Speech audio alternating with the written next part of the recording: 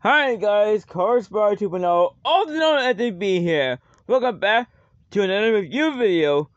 And yeah, this video will start today. Now, do you guys know that I will be able to go out after all. Because the rain will be stopping and probably in, in the next half, next half hour from now. And so yeah, I will be able to go out after all.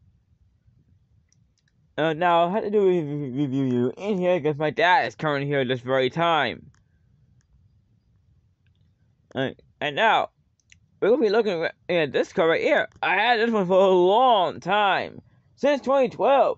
So yeah, this car is 12 years old. And this is actually one of those new castings in back in 2012.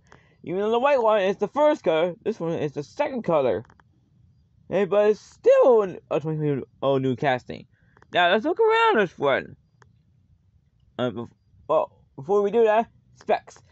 This one has a 4 liter V8 that pushes out 450 horsepower. It's rear wheel drive, has a 6 speed automatic to time like 9 seconds and top speed 205 miles per hour. It's way faster than the road car variant. And uh, do you know this one that is part of the E92 series?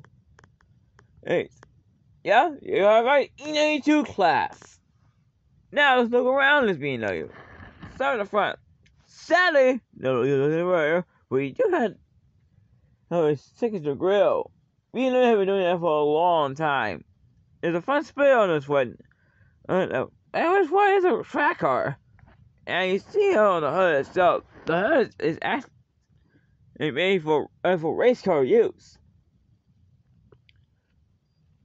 And it's totally in the road car variant. Yeah. Oh? Yeah, I had five spoke uh, uh, rims on it. And with a red line on them. Oh, well, you could barely see on it, but this one had uh, took me a lot of paint for a long time, ever since I first got it. And back in 2012.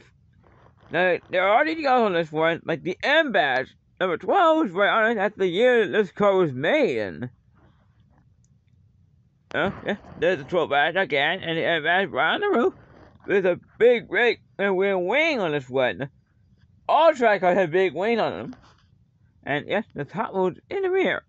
Now you see on the side, yeah, there is exhaust head on the on the side. All track cars have exhaust on the side. Yeah. And now look in the rear. There's no details at all on this one at all. Hey, but this is, this is a track car. I read there's a diffuser on this one. Hmm. No, there's no diffuser on this one. This track car does not have any diffusers. Hey, but race cars normally have diffusers on them.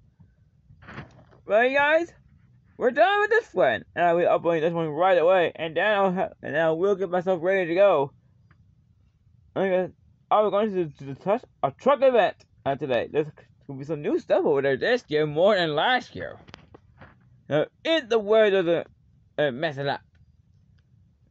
Alright. See you on next one, you guys. Later.